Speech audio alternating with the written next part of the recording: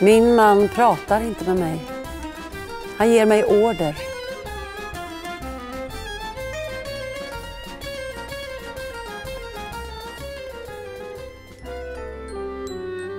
Idag höll jag på att göra någonting dumt.